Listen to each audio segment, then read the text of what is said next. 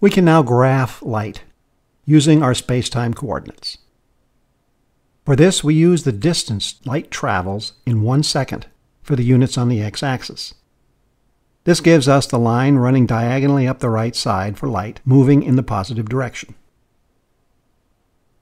At this scale, we cannot distinguish between the speeds achieved by snails, animals, cars, planes, and rockets from the line that represents standing still.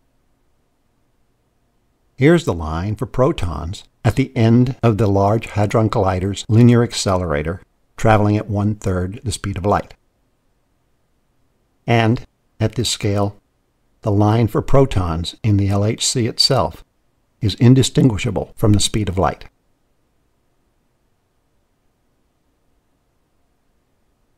Now we can run the light line up the left side for light moving in the negative direction.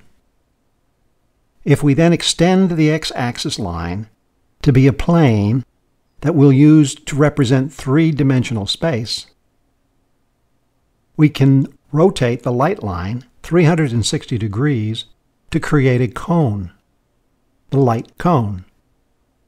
This is the four-dimensional space-time graph. A point on this graph represents an event with four coordinates, x, y, and z for space, and t for time.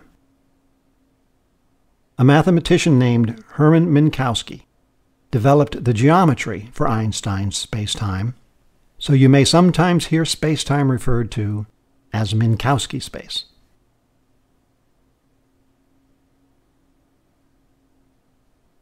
The four-dimensional length of a line in Minkowski space is referred to as proper time or proper distance. Space-time inside the cone is called time-like because the length of connected points have positive proper time. This makes all points inside the light cone reachable. In other words, it is possible for an event at an earlier time within the cone to be the cause of an event at a later time within the cone.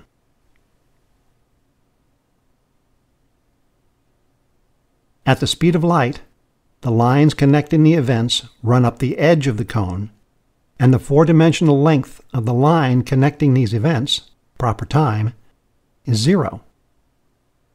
Cause and effect can still hold.